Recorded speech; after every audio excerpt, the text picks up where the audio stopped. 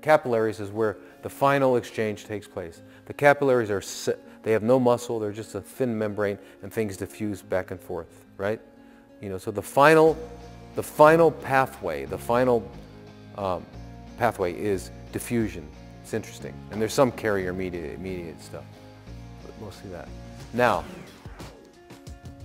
the v, and then, the, then you have the venules on the other side, and the venules are important. Um, they still deal with, they still have some smooth, smooth muscles.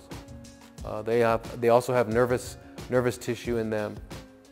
But what's, what's interesting is that when you get an infection, when you get sepsis, you have, uh, the, the, it's the venules, where, where Chitvan was showing you how the, those things, uh, the white blood cells collect around the sides. When the venules, they actually leave and they go through the vessel wall into the tissues. Monocytes do that and they become macrophages.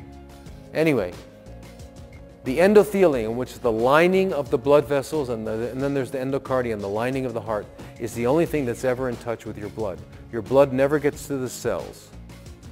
Your blood gets to the capillary, the endothelium, the lining of the capillary, and stuff diffuses back and forth, but the blood stays there. So blood is always just in touch with that endothelium. That endothelium turns out to be one, you could, if you looked at it as an organ, it does everything. It's where inflammation comes from, it's where healing comes from. It's a very important part of the body that no one ever talks about. And it's where you when your body is going to, when it has a problem, and these, inflammation is how the body heals. Remember, it's not bad. We always think of it as bad. Acute inflammation is absolutely great. You get red, hot, swollen, and painful. That means it's healing. Chronic inflammation is different. It's calluses and, you know, chronic inflammation is completely different thing than acute inflammation.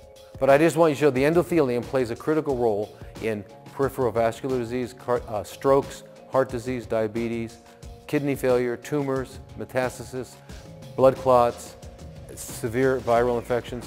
Is all the, the work of your body fighting it is taking place pretty much from the endothelium, the lining of the blood vessels. And the blood vessels that, have the, that are the most important are the, one, the, the lining, the endothelium in the microcirculation is the most important. So if the blood's not getting through there, you can't uh, fight, you can't heal.